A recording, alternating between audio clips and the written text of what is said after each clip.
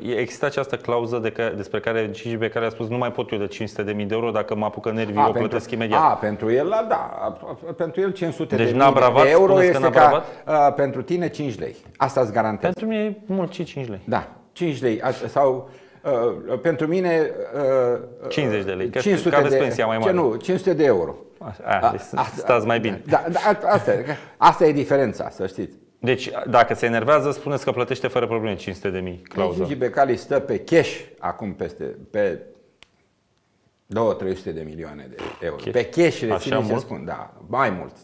Mai Cash. Înțeleg o avere mare de sute miliarde, dar cash e da, enorm. Da, să ai. da, da. Vă spun, uh, uh, chiar dacă el mă va înjura că eu spun tre- treaba asta, eu spun că știu despre ce vorbesc. Ce români mai au bani cash, așa din ce știți? Atât de mulți bani, că vorbiți de foarte mulți bani. Sunt oameni care au Siria credeți că are cash atât de mult? bani. Are și Siria. Da? Are Siria. Dumneavoastră aveți atât de mulți bani? Da, eu, am- eu sunt un pensionar uh, uh, care muncesc pentru nepoți și pentru fiu, uh, copiii mei.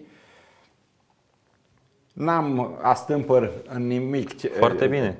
Uh, E de foarte când mă scol important. până mă culc. Foarte bine, Așa e că- foarte important. uh, Dar domnule. nu, nu, nu mă pot compara din punct de vedere financiar cu Gigi Becali. Gigi Becali e un colos, mă. Bun. Dacă, are și palatul. și dacă avea mai multă minte, Așa. era cel mai pricopsit om din această țară și în viitorii 20 de ani.